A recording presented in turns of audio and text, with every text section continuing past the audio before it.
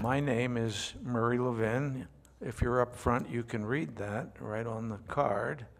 And I'm very uh, pleased and honored to be hosting a very distinguished panel. Now, technology, love it or hate it or leave it, you can't escape it. And there are at least two things that I can think of about technology. One is that it is moving faster and faster. And another thing is that, as with most innovation, there are a lot of good things, but there are also some bad things. Now, we're going to try to consider how to increase access to justice by using artificial intelligence. And again, uh, just based on a few personal ideas, when I think of technology and the law, I start out as a young lawyer going to court with one briefcase with maybe 50 pages of paper. And that was the case. And every word on all 50 pages was up here. By the time a couple of decades went by, when I went to court, I had to bring an assistant who had some contraption that went through the database of a million pages. And that was in a relatively short time. And I can promise you that from this point on, we're moving at warp speed, and that's going to seem like child's play. Now, a lot of us have heard about some of the bad stuff surrounding artificial intelligence.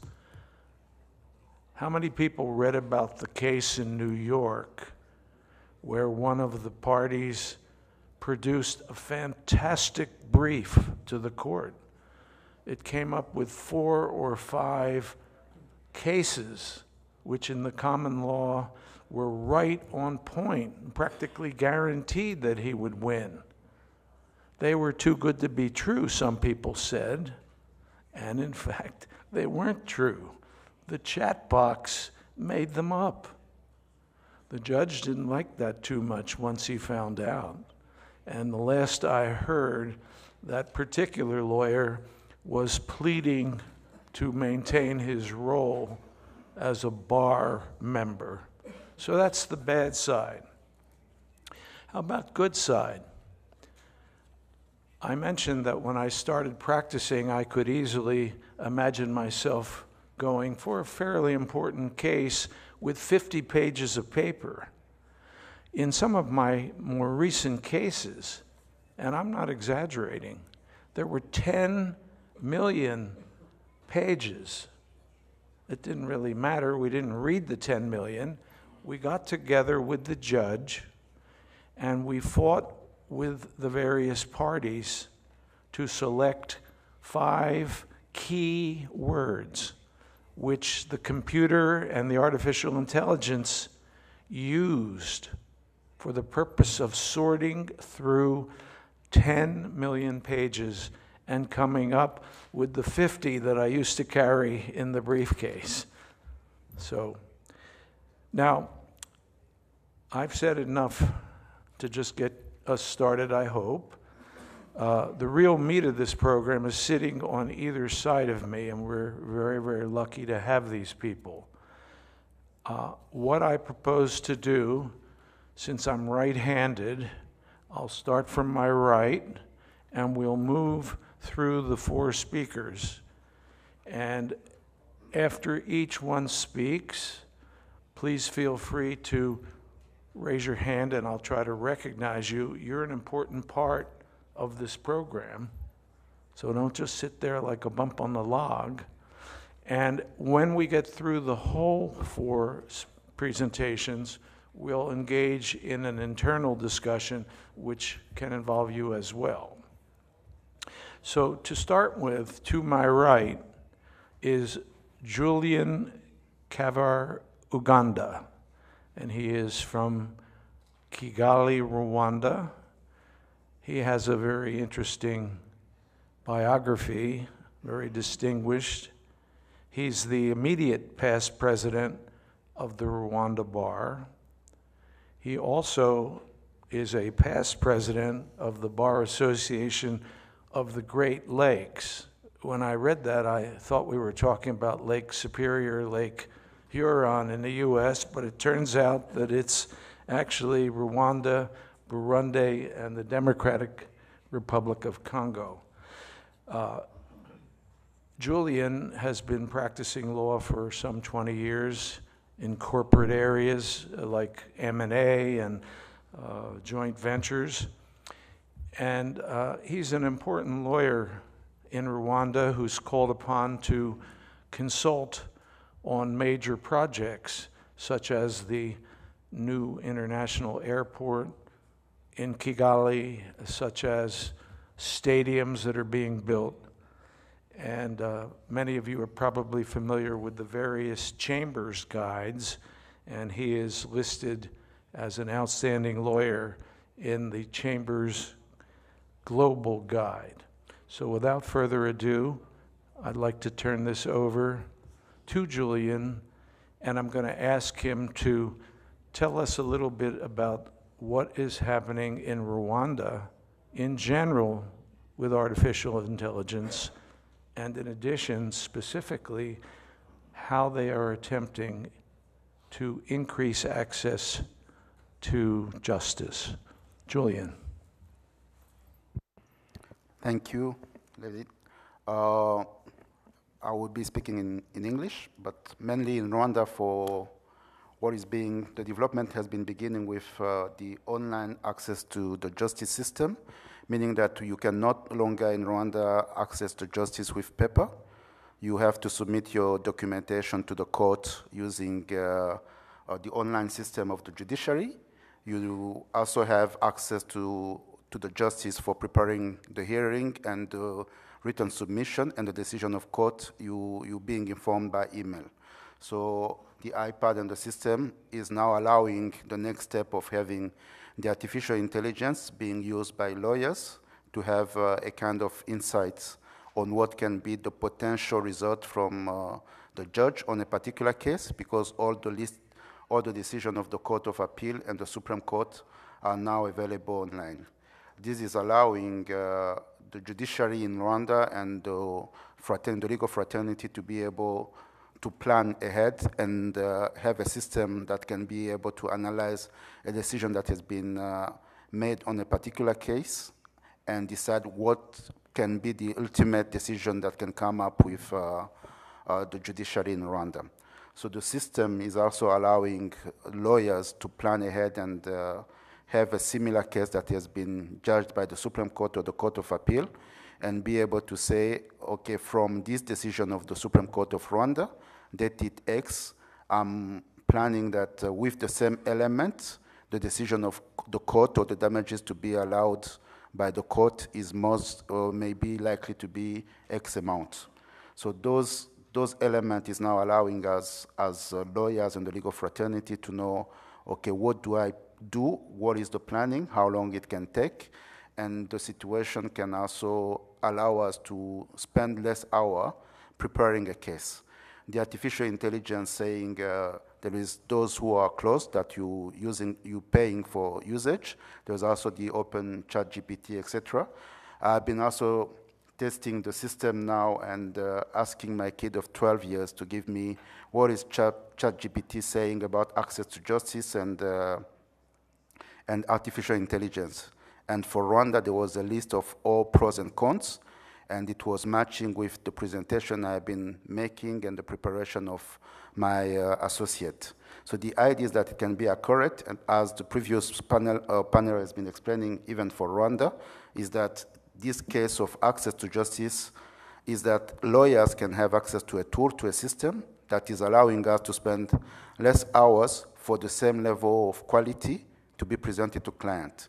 It's allowing us to give more pro bono services, uh, uh, specifically for Rwanda. Each law firm has a mandatory duty to give two cases pro bono per year. So that is part of uh, the CLA point, the credits that you have to, to have per year to have your certificate renewed each and every year. So by end of November in Rwanda, by the Rwanda Bar Association, each lawyer will be presenting the number of training he has been participating in, like I will be presenting my certificate of attending this meeting, that will be having a certain number of credit. I can also present the pro bono cases I've been using. Those pro bono cases is uh, if I have uh, access to letters you have been drafting for people, written submission you have been doing, it means if I was spending 20 hours for pro bono services with the AI, just verifying and not using my associate for that, I can also provide a very uh, quality service, legal services to the pro bono, to the people who need uh, to have legal services without paying for it. So it's, uh, it's, a it's one of the way to have access to justice using the artificial intelligence. I don't have to use resources of the law firm. I can use the artificial intelligence system that we have in the law firm for that purpose. But the other idea is that even the judiciary system will be using it, making it efficient for judges to, uh, to spend less hours for delivering justice. One of the issues we have uh, with the judiciary is that it could take six months to one year for a commercial court to make a decision. That, uh, and the Supreme Court is willing to reduce it to three months instead of one year uh, period. Each judge is supposed to have 20 decisions being uh, issued per month. Having, um, and there is a system, because all decisions are being done within the online system, the system can identify as a report for the Chief Justice and the, the judiciary, uh, the Council of the Judiciary, who is the judge who is uh, performant, who is the judge who, has, uh, who is issuing his decision very late and very often, and that could be a, a reason for sanction. Having a judge issuing 20 cases per month, not using the artificial intelligence is delaying the process, and justice denied is justice, uh, just delay, delayed is justice denied. One of the reasons of uh, introducing now in Rwanda uh, an artificial intelligence system is that, first of all, the, the system being online, having the decision of the judiciary available also online, the website of the Supreme Court, is allowing an artificial intelligence to give to the judges a draft, a possible draft of uh, a judgment on a particular case. Then the duty of the judge will be to verify and decide if that decision is matching with what he was planning, with the hearing he has been having, and information and documentation submitted to him those will be facilitating issue, uh, issuing a decision that is a, of a high quality and in less time than previously. So that is what we assume to have for now. And what also is, uh, is to have efficient decision, quick decision, with the verification that is planned by the inspector of the judiciary, or that is a committee of judges, senior judges at the level of the Supreme Court, that we be able to ensure that the quality of judge, judgment is of high level, and there is still a level of appeal when needed, but that, that is supposed to be enhancing the, the quality of the judiciary, the quality of decision being made by the judges. Be, having it online is also enhancing our uh, the access to what is uh, a planned decision by a judge, and it's also allowing us to make it cheap. Make it cheap it means that being in different jurisdiction of the country, I don't need to be uh, in Kigali to be able to have access to the system. I can be in the rural area. I only need access to internet, which is by the advantage of having a small country, it means that access to internet is all over the different district of the country and different jurisdiction. And each lawyer has a duty with the pro bono services that if uh, somebody who, who has no means of uh, accessing or paying a cyber coffee who reach an office of the lawyer, he has a duty to help and assist that person for using his online system or his assistant to, to check what is the situation of his case in court or to introduce the case in, in the name on, on behalf of that person. with the means of a budget provided by the Bar Association.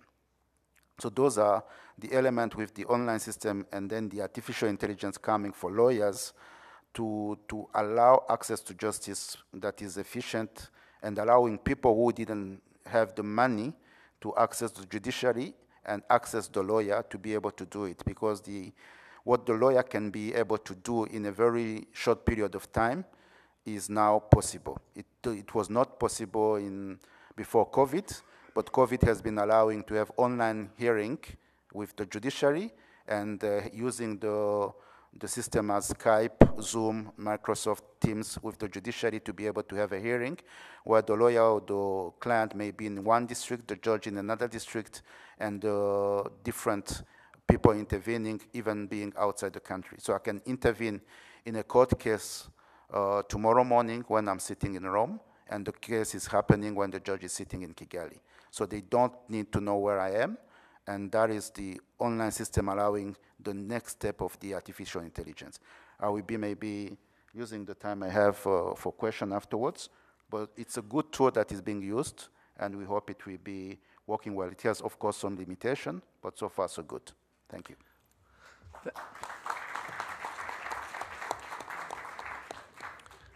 Thank you very much, Julian. Uh, everybody in the room now, let's not let the court in Kigali know that Julian is here, remember.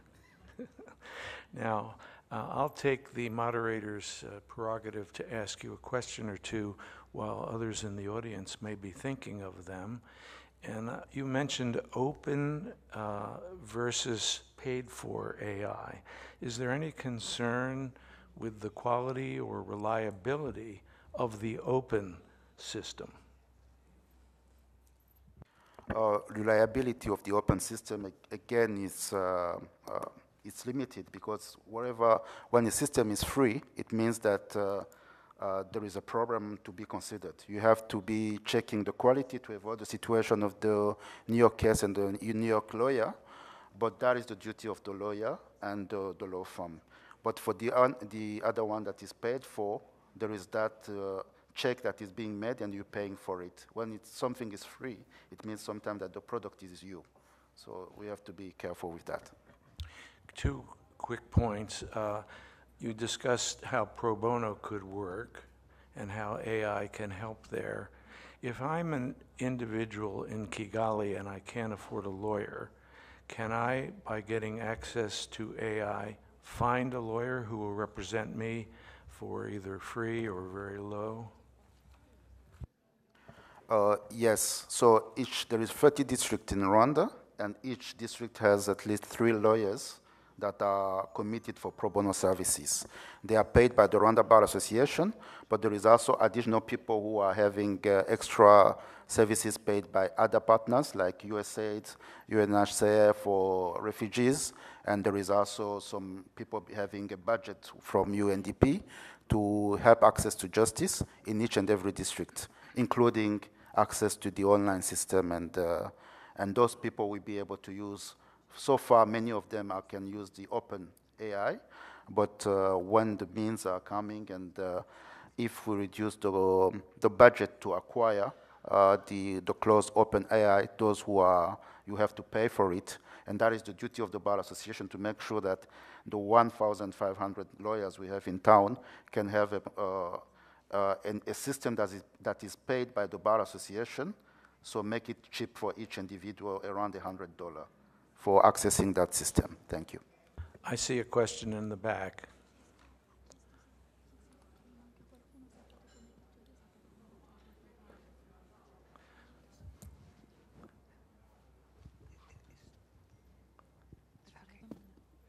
Um, buonasera. Um, thank you. Introduce yourself, please. I'm Angelica from Munich, lawyer from Munich, Bavaria, and I have a second admission uh, in Naples, in Italy. I want to know uh, if it is possible uh, in Rwanda to replace the decision of a human judge by an algorithm judge, uh, by a technical decision. Thank you. If we can replace a judge by uh, a robotic or a system. Uh, no, and uh, we hope it will not happen. So, as we also consider that lawyers are needed, even if we have, uh, it's a system, it's a tool we should be using. We are not hoping that judges will be replaced. Judges are needed because there is a context, there is a, a, a situation that is depending of each person. So the justice system should not be uh, acting as a robot. A criminal case where you need a judge to understand the story, the facts, and put the law in place. So the tool and the system, artificial intelligence, will be just helping to fast track because judges are not having, in Europe, you may have uh, each and every judge having two assistants helping to draft. In, in Africa, especially for Rwanda, they don't have those kind of uh, assistants. So having that tool replacing that human being doesn't stop having a judge as a physical person. Thank you. Thank you for your question. That is actually a very hot topic, at least academically. And a number of articles have been written on the fact that if you go to having AI making the decision, and let's say it's limited to commercial, we're not going to do murder trials and so forth, but you, still have the problem of built-in biases based on the database that is created. And I think that's maybe what you were getting at. I saw another hand. We'll take one more question and then, uh, yes.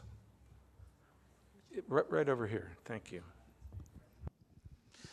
Merci beaucoup. Je réponds au nom de Justin Loubo, avocat au barreau de Kinshasa-Gombe.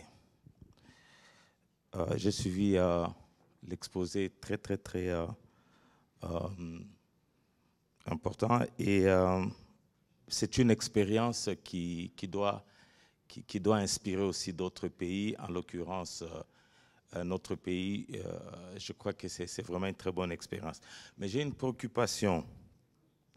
Vous le savez bien, bien confrère, que la, la, justice en ligne présente de nombreux avantages, c'est vrai. Euh, mais il est essentiel de garantir aussi la protection des données à caractère personnel, notamment à ce qui concerne l'effacement des informations liées à d'anciennes décisions judiciaires réformées. Lorsqu'une décision judiciaire est réformée, il est important de veiller à ce que les informations correspondantes soient supprimées afin de ne pas être utilisées contre la personne concernée. Et donc la confidentialité des données est une préoccupation majeure dans le domaine de la justice en ligne. Et des mesures doivent être prises ou mises en place pour s'assurer que des informations personnelles des individus soient traitées de manière appropriée. Maintenant, je voudrais savoir, euh, au niveau du Rwanda, est-ce qu'il y a une réglementation qui a été mise en place pour encadrer la gestion des données à caractère personnel dans le cadre de la justice en ligne. Parce qu'il est important de pouvoir trouver un équilibre entre la transparence de la justice en ligne et la protection des données à caractère personnel. Les, individus ont droit de savoir ce qui a été décidé dans une affaire judiciaire, mais cela ne devrait pas se faire au détriment de leur vie privée et leur réputation. Merci beaucoup. Yeah, thank you for your question. And uh, Julian, before you answer it, for those who may not have been listening on earphones or may not speak French as well as our uh, questioner, uh, basically we're talking about protection of private data on online uh, in the various areas that Julian has already discussed. And Julian, if you could give a, just a quick answer on how this is handled in Rwanda. Okay, I can respond in French. Ok, donc euh, la question du, confrère Justin du barreau de Kinshasa-Gombe, c'est le caractère donc euh, de la protection de la vie privée. C'est que les décisions qui sont rendues publiques sont les décisions de la Cour d'appel ou de la Cour suprême, sur le site de la Cour suprême. C'est-à-dire que c'est des décisions qui sont normalement passées en force de sauce jugée et qui sont définitives. Donc il n'y a plus de degré d'appel et c'est des décisions qui ont, aussi, qui ont aussi été vérifiées par une certaine comité avec des juges de la Cour d'appel, des juges de la Cour suprême, des euh, enseignants de l'Université de droit du Rwanda et l'Institut de pratique professionnelle de la de of Legal Practice and Development. Donc ce comité-là vérifie les décisions qui sont considérées comme des jurisprudences dans des domaines particuliers et ayant la force de chose jugée, et étant dans le domaine public puisque les décisions sont rendues publiquement. Et c'est ça qui garantit que la protection de la vie privée euh, n'est pas, euh, pas un frein et que la, décision qui pourrait changer uniquement s'il y avait une révision éventuelle ou s'il y avait un cas d'injustice, parce que quand il y a un cas d'injustice considéré par l'ombudsman du Rwanda, ça peut retourner à la Cour suprême pour être changé. Dans ce cas-là, cette décision-là sera enlevée du site Internet et remplacée par la décision d'injustice euh, qui, qui aura été rendue par après par la, euh, par la Cour d'appel ou la Cour suprême selon le degré qui avait rendu la décision en dernier ressort. Donc euh, les droits sont protégés pour les, les parties ou les personnes intervenant dans le dossier. Si c'est des cas pénals, il y a toujours la protection aussi des témoins qui sont informés avec des codes et c'est toujours dans le jugement, c'est le code de la personne qui est mentionné et pas le nom de la personne. Toujours pour la protection des données. Merci.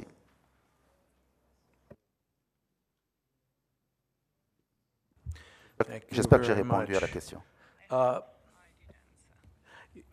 Thank you very much. You did indeed, and thank you for your presentation. And now we're going to move from Rwanda to England and Wales. And I can't think of a better person from England and Wales to talk to us than the Vice President of the Law Society of England and Wales, Richard Atkinson, who is sitting right next to me. Uh, I don't know how many of you remember the uh, book and movie about six degrees of separation. I don't know why I'm thinking about it, but it may have something to do with the fact that Richard's practice is as a criminal defense lawyer. And he told me that he has defended more than 30 people accused of murder. Now, they weren't all convicted, but anyway, uh, six degrees of separation, that's not that comfortable. But uh, Richard, I'm going to ask you to give us an overview of how England and Wales are incorporating artificial intelligence in promoting access to judgment, access to justice. I understand it's a, maybe more of a work in progress. It may be something that we're looking into the future, but we count on you to guide us there.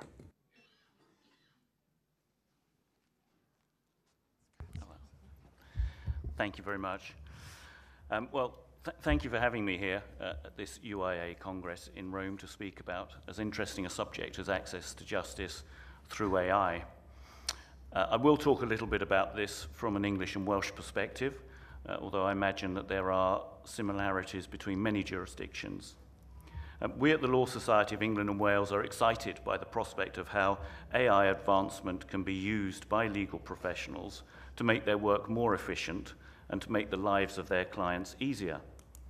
AI's potential to increase access to justice deserves special attention. And our three year 21st Century Justice project that explores practical changes to make sure the system works effectively is examining questions such as how do we ensure the online justice system works for justice users and the profession? And how can we ensure case outcome predictive software enables and protects access to justice?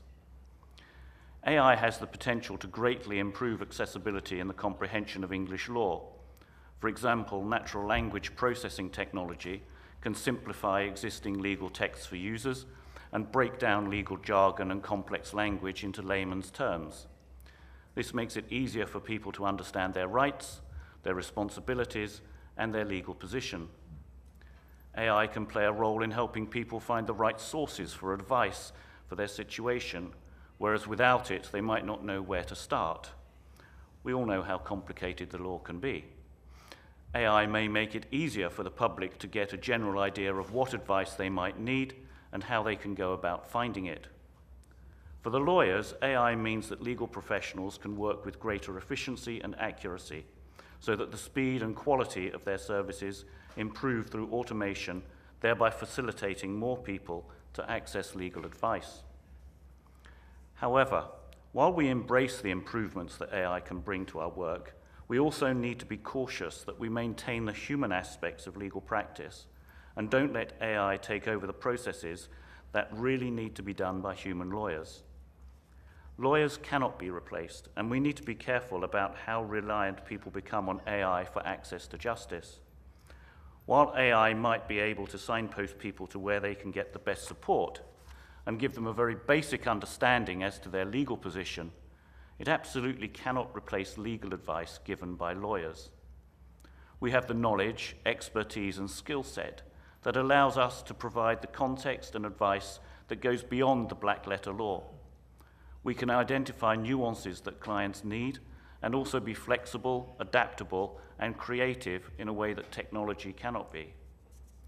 Empathy is absolutely crucial to those who pass through the justice system and need not only legal but also psychological or emotional support. Trust can only be established by developing human relationships over a sustained period of time.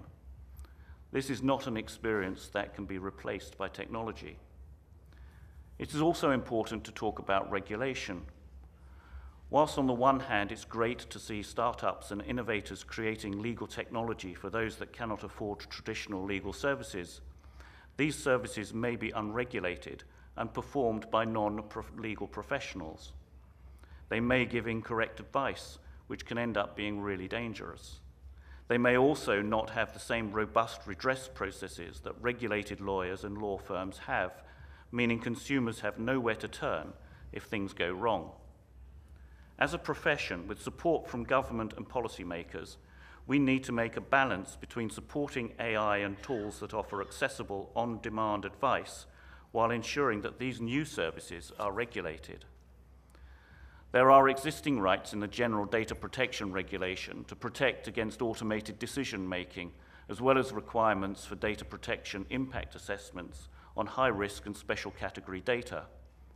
However, these regulations and rights need to be updated and strengthened in the changing context of emerging AI technologies. For example, we need to contemplate the challenges related to the digital footprint of offenders who have already served their sentences. Everything is a simple online search away, and there are currently no data rights in this space. The right to erasure does not extend so far as to remove such information on offenders. We need to be thinking about how we can legislate around these issues. There is plenty for both legal professionals and lawmakers to consider before we fully welcome AI with open arms, and it is right that we take a cautious approach to the utilization of such technologies. Different technologies work for different people, and careful consideration is needed to ensure that the design, development, and deployment of digital technologies and AI systems are both necessary and appropriate. I think it's also important to point out that we cannot rely on AI to provide access to justice. All the benefits I have mentioned today can only be seen as a few of many tools we use to improve access to justice. Certainly in the UK, restoring the availability of legal aid by investing in it monetarily remains a priority. Whilst AI might be a money saver in some legal areas, it certainly isn't paying the fees of legal aid practitioners. In the UK, then, we charge lawmakers to work with us in evaluating what a healthy relationship between AI and access to justice might be, whilst also funding the more traditional methods of ensuring access to justice. Thank you.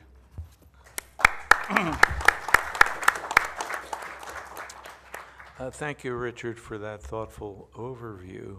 You touched on uh, an interesting point when you mentioned predictive software. And I'm wondering if you could elaborate on that.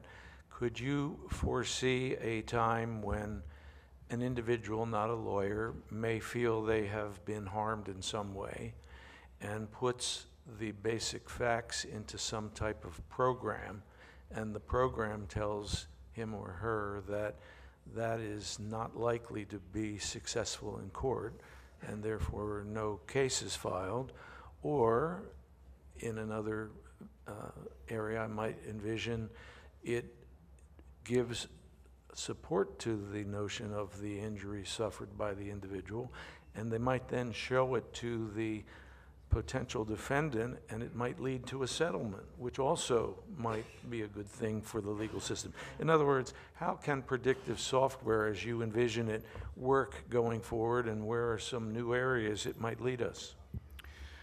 Um, well, that's, that's a very good question, and, and, and we're at a very early stage, and as you say, there's a, there's a degree of, of looking into the future here, but it can certainly uh, reduce the cost of legal advice, uh, as we've talked about.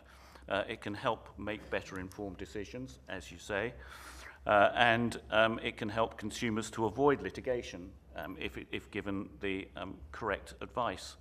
The problem is whether or not the advice that they're given by artificial intelligence is correct and the source that they will use to find that.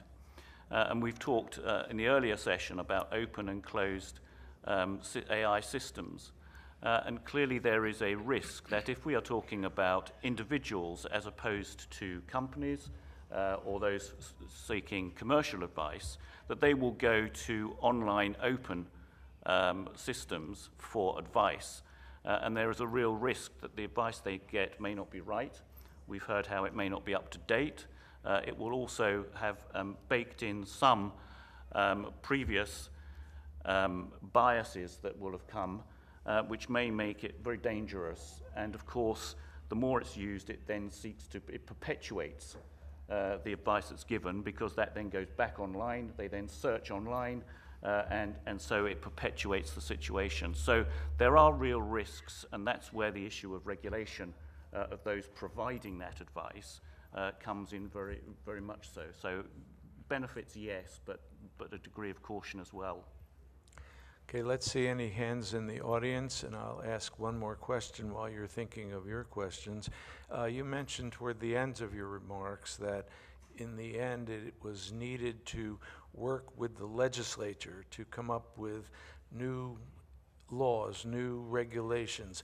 Where, what do you think uh, are the areas that need attention from our elected legislators? Uh, we, we, we've got to look at um, protecting um, people's rights. One, one thing that we know uh, very much about matters online, and it's not just with AI, is that once it's there, it's there.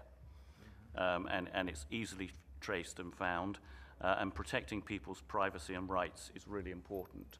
Uh, so we need to work with the legislature to look at that. Uh, we also need to look at work with the legislature on providing uh, the right regulation for those offering advice. At the moment, um, we have uh, restricted rights uh, to provide legal advice, uh, and you have to be a qualified lawyer. But once you can go to AI, then who anyone can provide that. And so we need to work with the legislature to work out how we can protect people's rights in an online um, advice situation. Encore, le, encore, la semaine dernière, un de nos avocats, un de nos jeunes avocats disait Moi, j'ai mis en place un robot et que je fais travailler avec les informations que je, lui donne euh, toutes les semaines, tous les jours. Et en cela, c'est extrêmement intéressant la façon dont nos jeunes avocats, mais aussi nos, nos cabinets, se sont emparés de ces outils, mais avec une extrême précaution. Et cette extrême précaution, elle est d'une part de ne jamais omettre le devoir de compétence des avocats, deux, de veiller au respect de la question du secret professionnel, hein, c'est-à-dire que l'intelligence artificielle générative, qui, pour fournir une réponse pertinente, va nécessiter la collecte d'un très grand nombre de données, mais dont certaines, attention, sont couvertes par le secret professionnel. Et enfin, ce sont des garanties techniques et juridiques qui doivent être mises en œuvre pour protéger nos clients et protéger la confidentialité des échanges entre les avocats et, les leurs clients. Et c'est en cela, c'est indispensable pour la relation de confiance. Donc, nous avons en Europe un règlement, un, e-act, Intelligence Act, euh, qui est en cours euh, actuellement, qui va veiller à tous ces éléments. Et puis, c'est à nous, institutions ordinales, un, d'aider à la formation de nos avocats, deux, aux outils, mais aussi d'assurer la sécurité déontologique. Et en cela, il nous appartient à nos yeux, euh, et ce n'est pas un hasard si euh, et permettez-moi deux minutes de publicité euh, pour le congrès qui se tiendra à Paris l'année prochaine de l'Union internationale des avocats, où le thème est tout simplement sur l'intelligence artificielle et de voir le thème principal va être faut-il ou peut-on réguler l'intelligence artificielle? Et donc, moi je vous invite, puisque vous êtes ici et vous êtes tous passionnés par cela, et ce sont des sujets passionnants, à d'ores et déjà nous rejoindre l'année prochaine à Paris, euh, puisque nous aurons, euh, le barreau français aura l'honneur d'accueillir le Congrès international des avocats. Voilà, votre disposition pour répondre à toutes vos interrogations. Juste un tout petit point, parce que la question a été posée tout à l'heure, de dire que tout ceci, euh, chez nous en France, se passe sous le contrôle de la CNIL, et nous, nous souhaitons que tout ceci soit contrôlé, là encore, sur la sécurité juridique de nos clients. Donc l'intelligence artificielle, emparons-nous, bien sûr, mais veillons à ce que, tant à l'utilisation qu'en est faite tant par nos avocats et surtout par nos juges et nos gouvernements.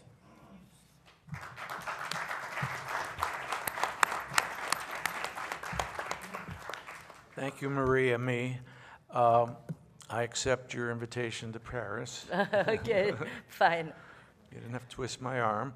Um, I, I want to ask you this. Uh, do you think that we lawyers have too high an opinion of ourselves, that we're too proud? Now, uh, let, let me just look for a moment at the medical profession. Uh, I recently read that a uh, experiment was undertaken by radiologists a uh, hundred x-rays were read by live, real-life doctors who then rendered their diagnosis, and the same hundred x-rays were read by an artificial intelligence system. It turned out that the artificial intelligence system had a much higher rate of success in reading and diagnosing. And I'm just wondering, we're talking about, well, we need to have humans we can't have art, we can't have AI make legal decisions.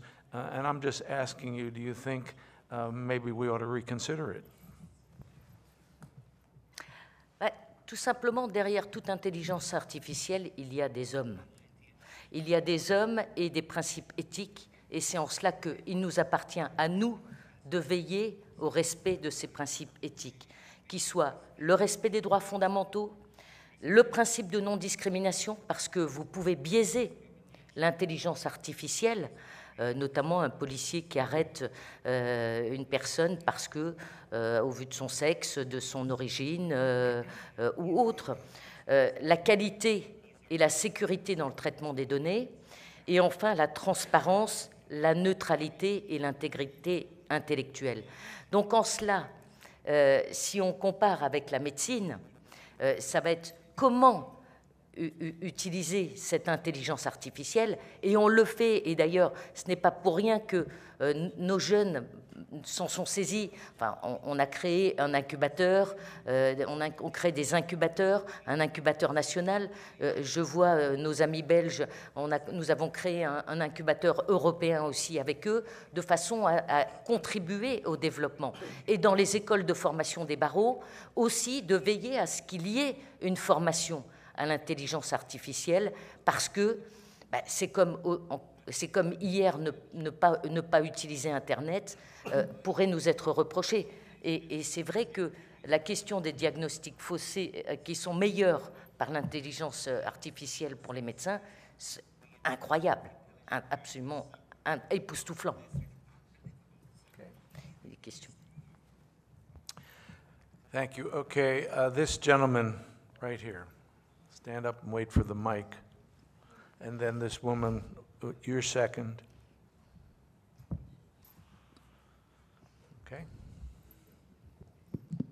Thank you. Merci. Euh, je suis Prosper Ntetika, avocat au barreau de Kinshasa-Gombe, République démocratique du Congo, et conseiller juridique du ministre du numérique de la RDC. Ma question euh, repose au sujet du cadre de gouvernance. Au niveau du Conseil national de barreau, comment vous entendez, euh, comment vous envisagez le cadre de gouvernance, surtout en ce qui concerne la confidentialité et toutes les règles professionnelles de l'avocat. Qu'est-ce qui va arriver demain lorsque nous serons dans une situation euh, euh, conflictuelle avec la loi et où on sera en même temps devant une question professionnelle, par exemple une violation euh, de la confidentialité, et où il s'avérait que la même question relèverait aussi d'une autre autorité de régulation, en l'occurrence les régulateurs, qui viendra peut-être demain euh, de l'intelligence artificielle.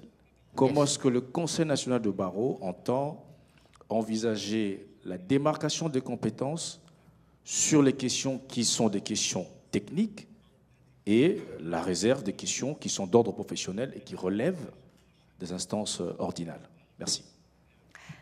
Bah, votre question est passionnante.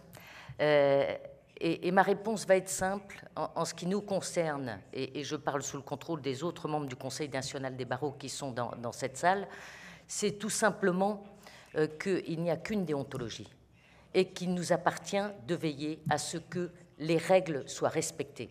Dans cet exemple de l'avocat américain, qui n'est pas allé vérifier les données, c'est un devoir de compétence et un devoir de vérifier les sources euh, que l'on produit devant une juridiction. Hein. Comme tout avocat, hein, souvenez-vous, il fut un temps où d'ailleurs devant les tribunaux, il fallait donner une copie papier du livre et non pas euh, une base de données. Et euh, en cela, il appartient à nos ordres ensuite d'assurer la discipline et aux bâtonniers de poursuivre s'il y a rédaction d'un faux jugement ou, comme cela a été fait, invoquer des jurisprudences qui n'existent pas.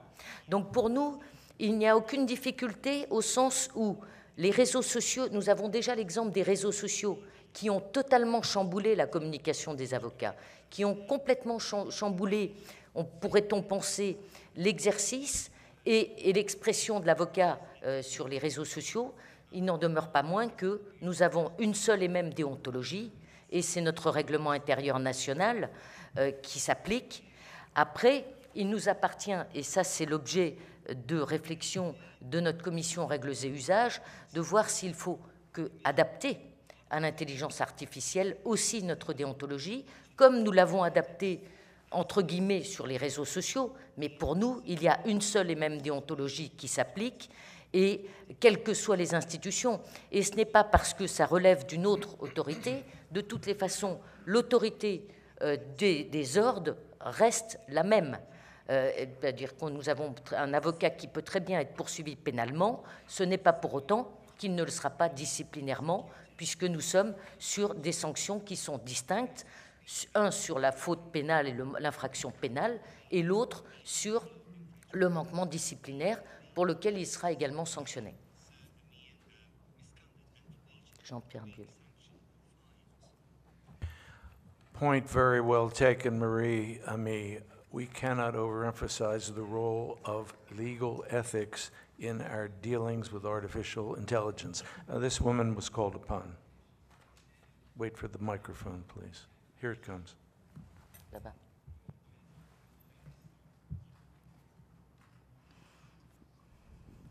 Muy buenas tardes. Eh, soy la doctora Sonia Hilario de Lima, Perú.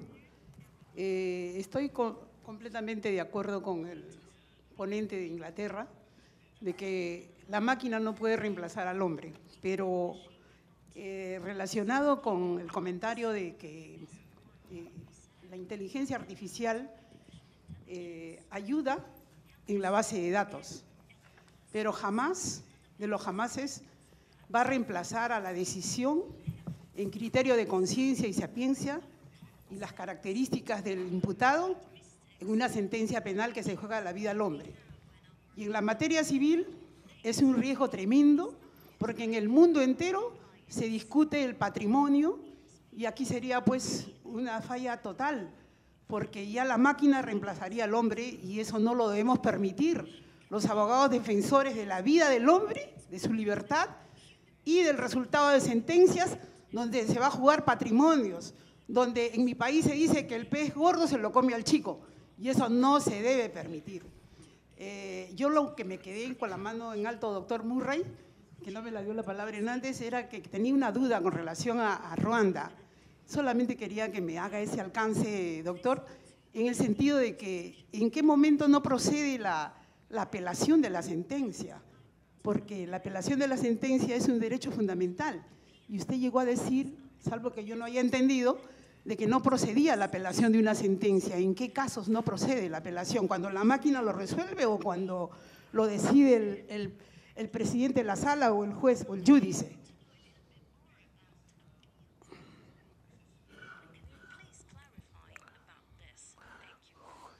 Thank you. Julian? Euh, en, concernant l'appel, c'est que le système judiciaire reste le même.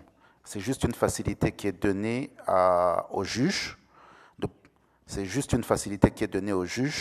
d'utiliser l'artificial intelligence pour avoir une idée euh, d'une décision judiciaire à rendre. Mais sinon, le degré d'appel reste valable. Au Rwanda, on a toujours les mêmes degrés d'appel, qui est le tribunal de première instance, la haute cour, et ensuite une possibilité de deuxième appel au niveau de la cour d'appel. Et il y a même euh, un autre appel qui a été prévu en cas d'injustice, euh, qui est suscité par une autre institution qui s'appelle euh, l'organe de l'ombudsman, qui permet à vérifier s'il y a un cas de décision rendue en dernier ressort par une juridiction, mais qu'avec des informations qui viendraient à être mises à leur disposition, ils demandent à la Cour suprême d'ordonner qu'une autre juridiction, qui soit la Cour d'appel, rejuge euh, cette décision-là sur base d'injustice. Mais ça, c'est un cas exceptionnel, donc il y a plus ou moins au moins deux degrés d'appel et la voie extraordinaire qui est prévue d'un cas d'injustice. Donc, euh, je vous rassure que le droit d'appel reste valable, même avec l'artificial intelligence. Merci.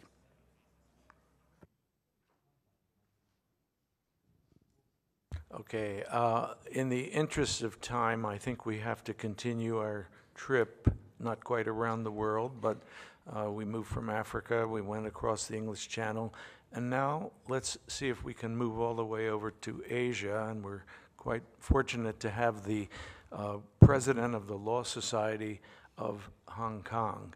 Uh, C.M. Chan, who is the president, uh, has a very distinguished career.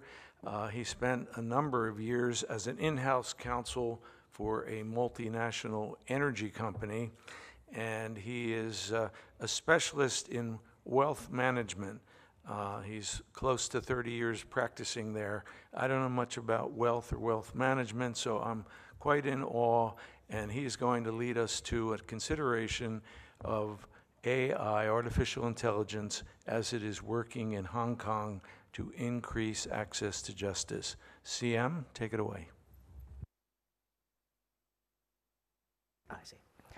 Uh, Thank you, Murray. Um, This is uh, my absolute privilege to be here uh, to to be able to speak to you on a number of issues.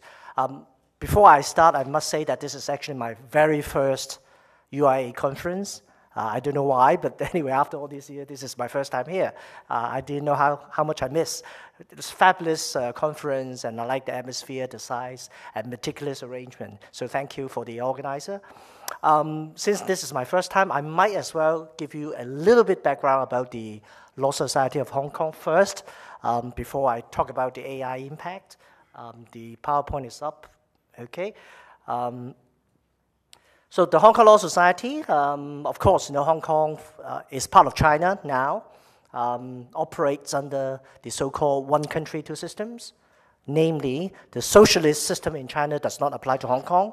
Hong Kong continues with its own capitalist system.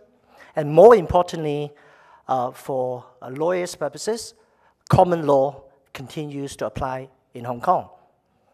Um, so for the Law Society of Hong Kong, it is a self-regulatory body.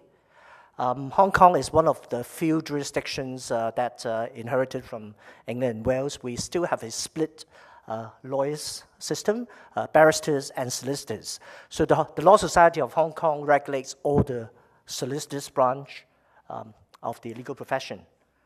Um, we are a self-regulatory body, but we are also a professional uh, association, which will be relevant uh, when I talk about uh, how we regulate the use of AI later on.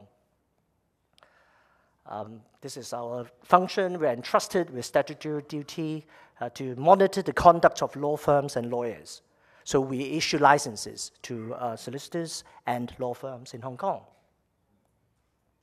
We have roughly 13,000 uh, members, 13,000 uh, uh, solicitors, uh, population in Hong Kong 7.5 million.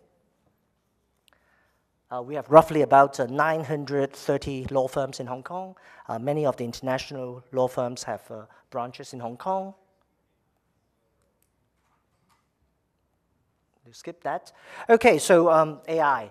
Um, of course, um, artificial intelligence is something the Law Society has been uh, looking into very closely. Um, I think the last panel has uh, talked a lot about the use of AI in the legal profession, whether it's document management, whether it's uh, electronic discovery, uh, or whether it's uh, translation, which I'll come back to this uh, particular point about interpretation and translation uh, in using AI. So we all know that. Um, the Law Society, of course, uh, we have looked into the issue for a long time. We set up a InnoTech committee, which is chaired by uh, our Vice President, Mr. Uh, uh, Amirali Nasir, who is sitting in the front row um, to look after how technology know-how can serve the legal profession better. Um, in fact, in, uh, back in 2017, the Law Society of Hong Kong, we actually have a roadmap how we actually go about taking advantages of the uh, technology. Um, this is one of the examples that uh, the Academy of Law, which is the education arm of uh, the Law Society, we provide a lot of trainings to our members. Uh, we recently uh, organized a competition, uh, for, uh, sort of like a think tank competition, asking our young lawyers to come up with ideas uh, on using artificial intelligence. A lot of good ideas generated, which hopefully I'll have time to talk about later on. So I said that the Law Society of Hong Kong is the regulator. Um, so the way we regulate our members is by way of prof uh, a professional guide of conduct. It's not law, but it has the effect that if you are in breach of this uh, uh, uh the, the guide, then it could uh, render a disciplinary action. So we can take action against our members uh, in breach of the guide to professional conduct. So a very important uh, principle that uh, when a solicitor chooses to use technology in his practice, he has a duty to act competently. So this is the basic uh, principle which is in line with our common law duty. There are a number of different rules under the, our guide that uh, um, a solicitor must not act if uh, he is not competent in that particular area.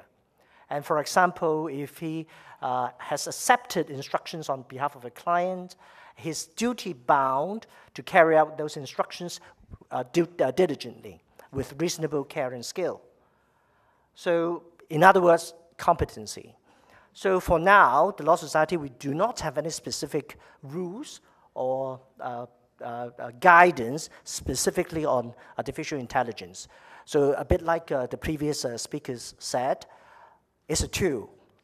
The lawyers, the solicitor has an obligation to decide how to make good use of it. Uh, further requirements, uh, competence involves uh, more than an understanding of legal principles.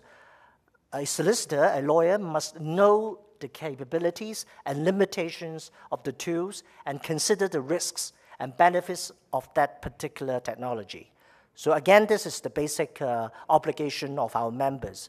Um, Murray and uh, I think uh, Marie-Aimée talked about the, uh, uh, the Manhattan case uh, when the, a fate judgment came up, fate citations came up, and, and the two Manhattan lawyers were disciplined, obviously. and I think in the last panel, they also mentioned that there's a Texas uh, case afterwards, subsequent to the Manhattan case, that a Texas judge actually said that uh, lawyers can no longer, attorney in, in, the, in Texas cannot simply rely on ChatGPT in producing his uh, uh skeleton argument. So this is a very, very interesting uh, development. Uh, we are following this closely. And, and maybe it's a good uh, juncture to talk a little bit about China. I'm not a practicing lawyer in China, but technology in China is uh, um, growing by day. Um, I visited um, a, an internet court in uh, Beijing. Uh, there are three internet courts in China, one in Beijing, one in Hangzhou. Hangzhou is basically Alibaba is based. A third one is in uh, Guangzhou, where Tencent is based. So there are three internet courts now in China. Um, and uh, with a population of 1.4 billion in China, guess how many courts are there in China? 3,000. 3,000 courts in China. So very interesting when you talk about uh, access to justice. Uh, access to justice, uh, you know, uh, if a local court in a rural village in Yunnan province uh, as opposed to a court in Shanghai. Uh, again, if we have time, we can come back to this particular point. Um, but the use of artificial intelligence in China is amazing. we visited the internet court in Beijing. Um, they now handles a lot of uh, online um, disputes. And for now, um, it's only quite standard types of sale and purchase, you know, uh, uh, uh type of scenario online. But they've already have AI judges. Some of the judgments can be decided uh, by artificial intelligence, but now it's only limited to some, uh, uh, some types of cases. Uh, the Supreme Court of China has already said that you know, AI will not be applied to other cases, but only the internet courts will deal with some of them. But this is a very important trend. Um, on the contrary, the Hong Kong courts are uh, famous for its backwardness. Uh, we are still a very paper-based system in Hong Kong. Um, we've only started uh, electronic filing for pleadings only last year but only again for a small number of cases. Um, so Hong Kong is a very big contrast from China in terms of use of AI and technology. I think um, my last uh, point is uh, in Hong Kong, we are already thinking about remote hearing as well. Um, some use, use more technology uh, only in civil cases, and they have a lot of reservations about uh, using remote hearing for criminal cases. So I'm going to stop it's here and uh, welcome any questions. So thank you very much. Thank you, CM. That was uh, interesting and a little bit different. Uh, you mentioned competency and diligence, which, by the way, are very important ethical uh, contents of both English and American practice and law. And I just wanted to ask you uh, on the issue of competency, does that include competency in artificial intelligence? And can you rely on a more tech savvy person in your law firm? And does that person have to be a lawyer or can they be uh, a tech person uh, in order to meet your ethical obligations? Thank you, uh, Murray, for this uh, question. Um, I, I, mentioned that uh, uh, legal practice in Hong Kong is highly regulated, so we uh, license our lawyers, solicitors, and also legal clerks. So as lawyers, of course, you know, you um, must be competent and you must use your judgment if you decide to delegate your power to a legal clerk, to a paralegal, to conduct uh, legal research through AI, for example, uh, ultimately, ultimately, we look to our members, we look to our solicitors, uh, what, uh, why are you making this decision, uh, and uh, whether the decision-making process is in accordance with our guide. So that's how we regulate for a time being. Um, I think I anticipate actually um, in the future we may need to have specific different uh, guidelines for the use of AI at some point. Thank you. Okay, we have a question right in the front here. Can we, and then this gentleman, you'll be second. I know you've had your hand up. Aldo up front, and then the gentleman in the back. All right, we'll, we'll go with you in the back, and then, uh, go ahead. Jean-Pierre Beuil, l'ancien bâtonnier de Bruxelles. Merci pour vos lumières, votre dynamisme. J'avais deux questions à vous poser. La première, Madame la bâtonnière, vous avez rappelé tout à l'heure qu'on n'imagine pas aujourd'hui un avocat ne pas utiliser Internet.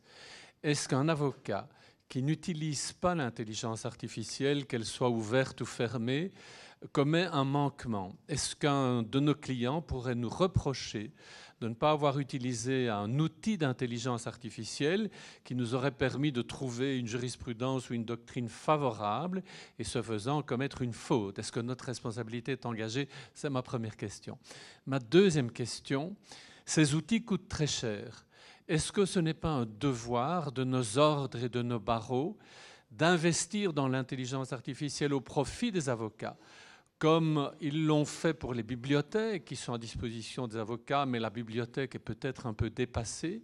Est-ce qu'il n'y a pas un devoir de nos ordres et de nos barreaux d'investir avec nos cotisations dans ces outils-là et de les mettre à disposition euh, des avocats Vous avez cité un exemple que je ne connaissais pas de la conférence des bâtonniers de France qui investit là-dedans sur un outil de prédictivité. Ce serait intéressant qu'on en sache un peu plus. Merci.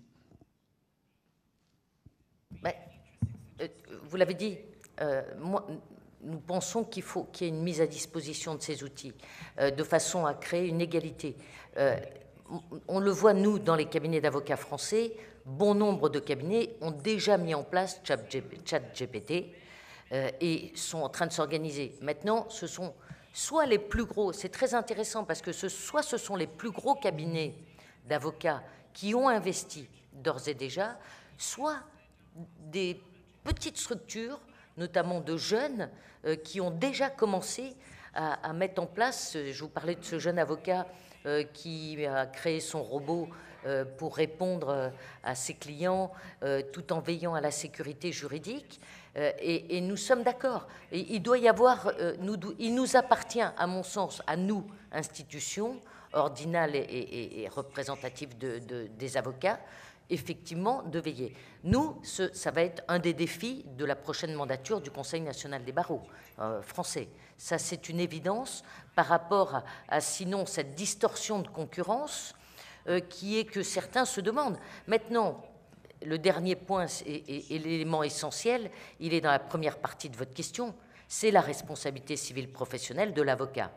Aujourd'hui, nous avons un système différent d'ailleurs du système anglo-saxon qui est qu'on peut nous reprocher de ne pas avoir eu connaissance d'une décision de justice. Mais ça existait déjà avec les bases de données.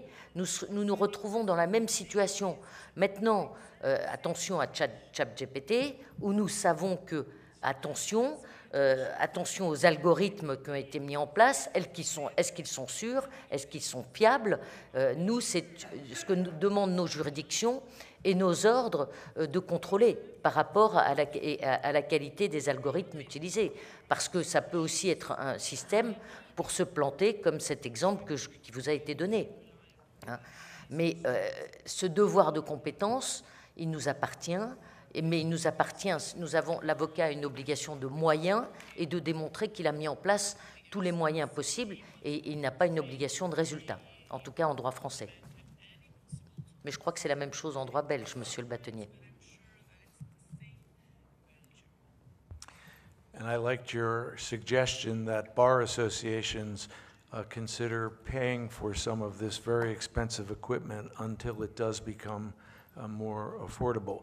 Now, this is a fabulous audience. Really, we thank you. We have two more questions, and then we have two important announcements. So bear with us, and uh, we'll. Uh, continue. Aldo, the floor is yours. Thank you, Mari. Aldo Bulgarelli, Verona, Italy. Uh, a preliminary question. Is it possible, in your opinion, uh, illustrious moderator and animator of the debate, to pose question uh, concerning uh, jurisdictions to which the four panels do not belong, in your opinion? I'm not sure I understood, but uh, because my question is to, for you. For you, you're not a panelist, you are a moderator and animator. That's why the question. Uh, I only agreed to be the moderator, so I wouldn't have to answer questions, but I'll try to answer anyway, yours. Non, euh, de façon préliminaire, j'aimerais bien répondre un peu aux questions qui étaient posées par les bâtonnets de Bruxelles, mais car je ne présente plus les, les, barreaux italiennes, je laisse euh, le montage à, Mario Napoli qui a fait, le monde du Conseil national forense. Pour moi, les réponses, c'est deux fois oui. C'est-à-dire, le premier avocat qui n'a pas considéré une décision importante, c'est responsable. Et deuxièmement, les barreaux doivent s'occuper de fournir, de donner aux avocats des moyennes telles pour euh, être efficaces aussi à niveau de l'intelligence artificielle. Uh, the question uh, to the non-panelists is, I heard, Murray, that uh, uh, if I heard well, if I understand well, that in, in, a, in a US state, I can't remember which state, uh, some judges in criminal cases, you know that you make arrest, police arrest people, and then judge is able to fix an amount of money, paying which you come back to freedom, you be freed.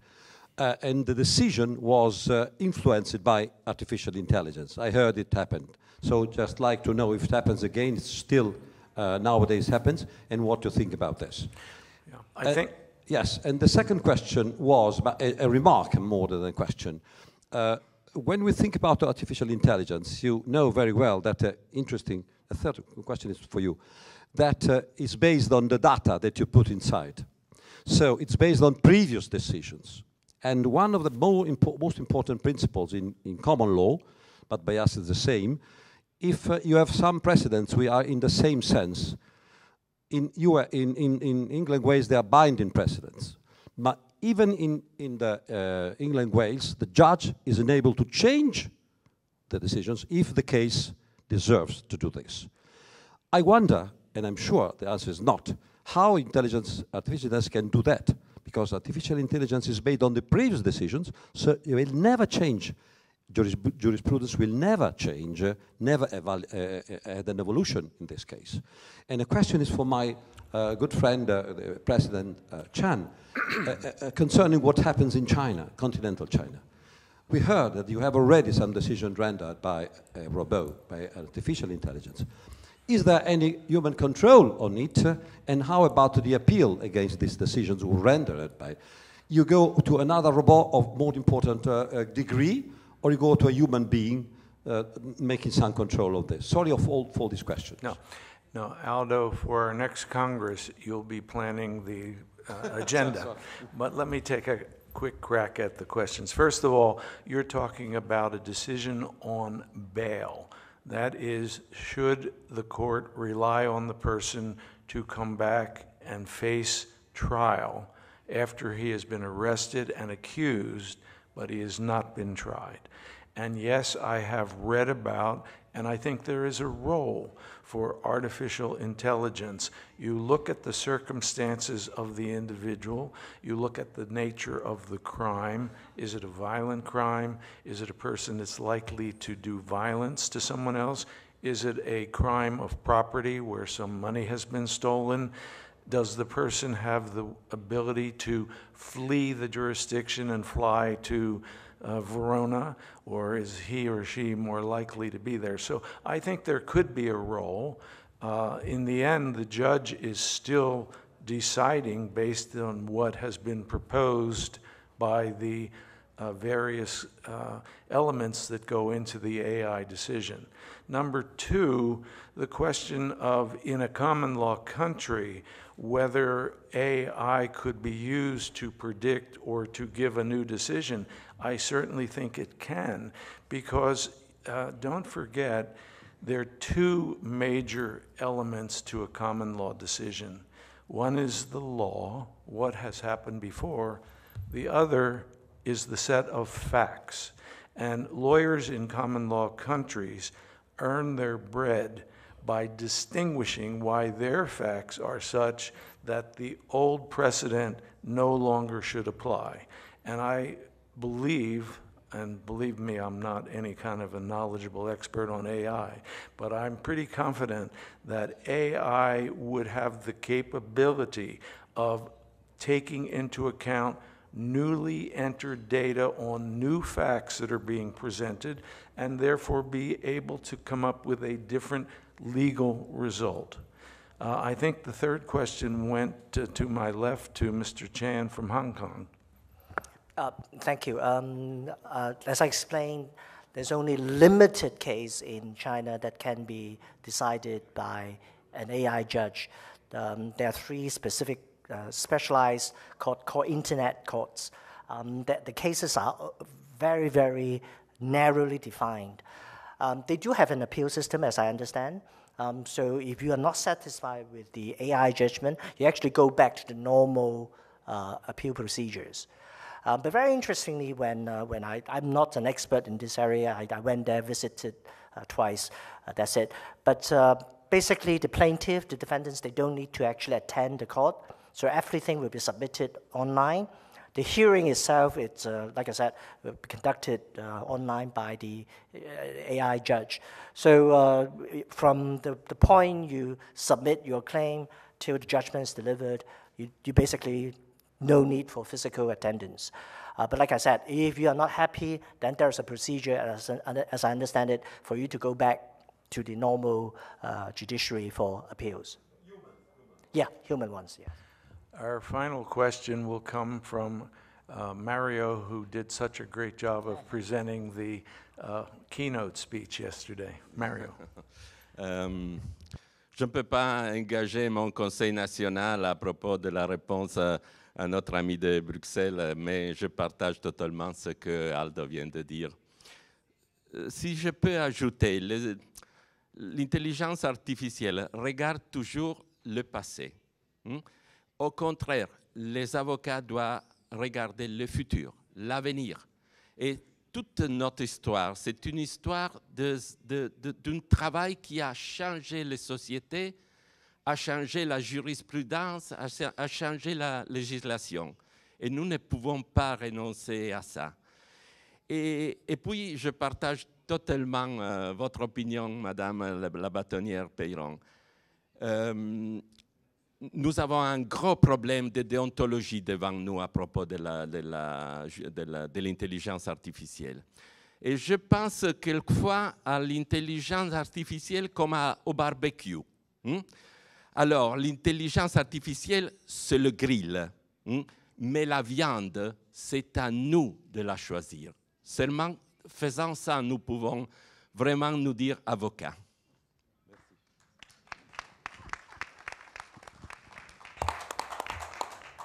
Okay, now I told you that we had two announcements, and before we get to them, I want you to join me in thanking this fabulous panel and also for the role you as the audience. So we're thanking everybody for the panel. And now I'm going to call Benedict Hahn, who for me is all things collective members and the International Senate, and she has an announcement. Je n'ai pas un de announcement très long. C'est juste pour vous dire que euh, en fin d'année dernière, Urquiola m'a demandé euh, de devenir secrétaire général du Sénat international des barreaux euh, et que cette qualité, donc, je m'adresse à vous pour que vous puissiez m'identifier tout simplement et m'adresser tous les sujets que vous souhaiteriez que nous traitions dans le cadre du Sénat international des barreaux. Voilà, c'est tout ce que j'avais à vous dire. Et je passe la parole du coup à Rosa qui, elle, a un vrai, une vraie annonce à vous faire. This is Rosa Isabel Pina Sastra. Okay. okay. Hi, everybody. Um, I'm one of the co-directors of the collective members, and uh, what I wanted to explain you is that uh, we, many of you already know, but for those who don't know, the collective members committee, uh, together with the International Senate, we organize during the whole year different webinars and forums uh, with topics that interest to the bar associations. So if uh, your bar association is here represented, or if not, if you um, uh, have a topic that you think that we should uh, organize a webinar or a forum that is in interesting for your bar, for your members, please come to me, to Murray. Uh, he's uh, uh, the other co-director of the Collective Members Committee, or to Alfonso, Benedict.